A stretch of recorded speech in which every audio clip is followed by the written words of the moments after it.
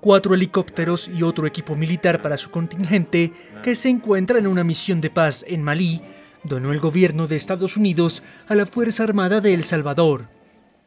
Las aeronaves, según explicó la presidencia del país centroamericano, son de uso militar para ataque, supervisión y de salvamento.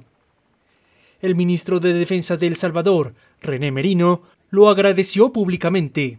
Agradeciendo al gobierno de los Estados Unidos por este importante donativo, que como ya lo mencionó ella, vendrá a ayudar a nuestras Fuerzas Armadas para continuar realizando esa misión importante que tenemos en Mali. El Salvador informó también que estos helicópteros sustituirán a las aeronaves que su Fuerza Armada tiene en la nación africana que se encuentra en conflicto armado desde hace 10 años.